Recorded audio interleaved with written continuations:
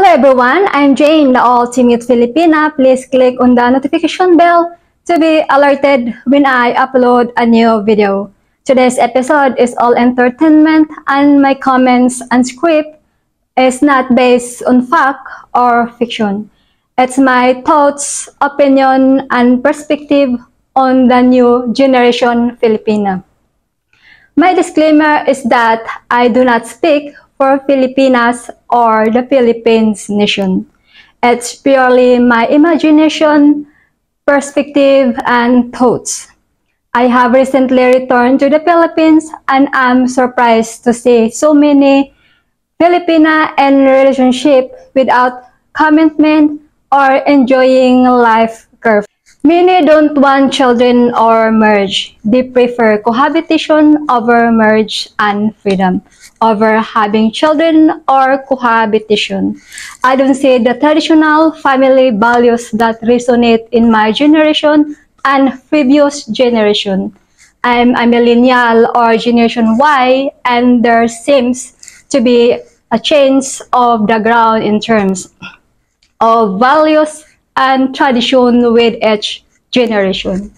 In my opinion, it's not bad because change comes from lesson of the past and new technology, social issues, and other advancements.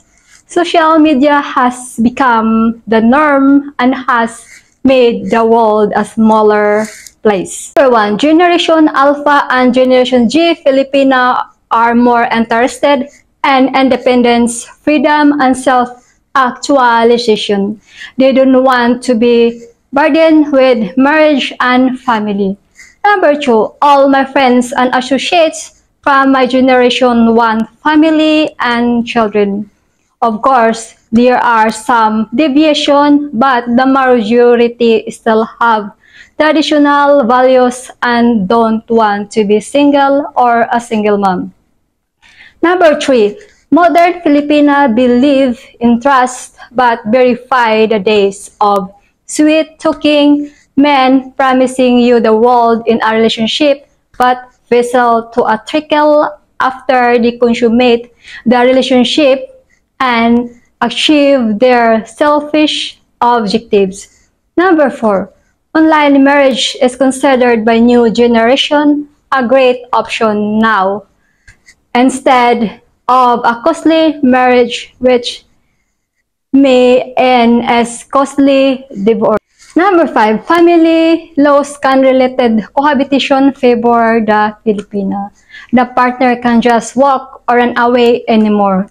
He will have to settle with the Filipina and ensure her future welfare and well-being. Number six, the younger generation want to travel inside and outside the Philippines, not just to the city or to the province. They want to see the world and what it has to offer and date at their own speed and time. They are independent, resourceful, more educated, and pragmatic.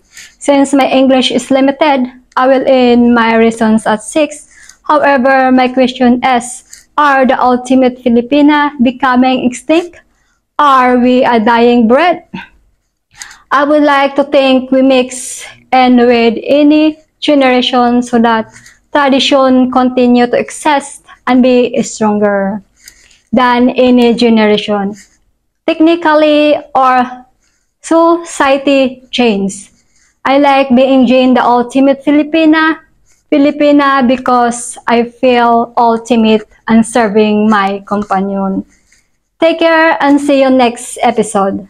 Bye!